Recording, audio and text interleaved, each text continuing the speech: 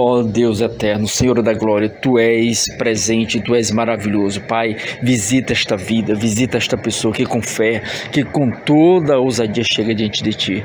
Ó oh, Pai eterno, Deus de amor e compaixão. Senhor amado, Deus de bondade, tu és bom, ó Pai, ainda que nós venhamos a falhar, a fracassar, a cometer, ó Pai, tantas situações desestimulantes, ó Pai, tantas situações ruins, tu ainda nos perdoa, tu nos transforma, Pai amado.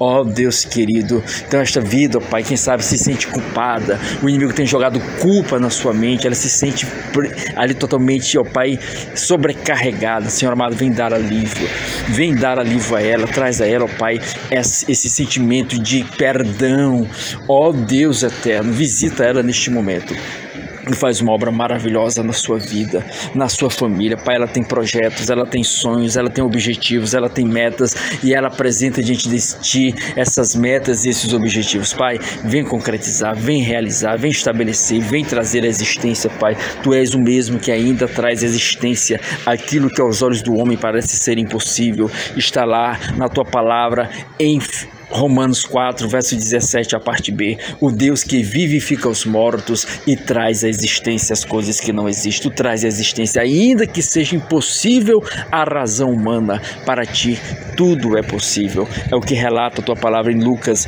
1, verso 37. Porque para Deus não haverá impossíveis em todas as suas promessas. Então, declaramos pela fé, liberdade, vitória, salvação, conquista, realização, em nome de Jesus. Visita e abençoa.